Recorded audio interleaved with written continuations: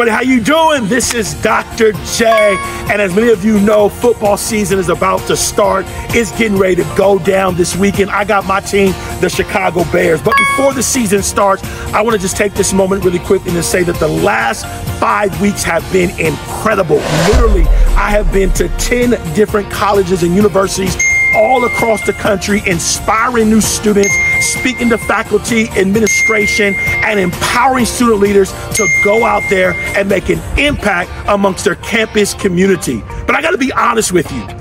This would not have been possible if it wasn't for the amazing advisors that I had the opportunity to work with, to partner with over these past five weeks. I told them I want to take a picture with each of them and I let everybody know that these are special people. These are incredible people. Without them, I would not be able to do what I'm able to do. So I want to give a shout out to these student affair professionals. I want you to know about them. I want them to know that they are special and I want them to know that I appreciate them so very much because together we are impacting the next generation.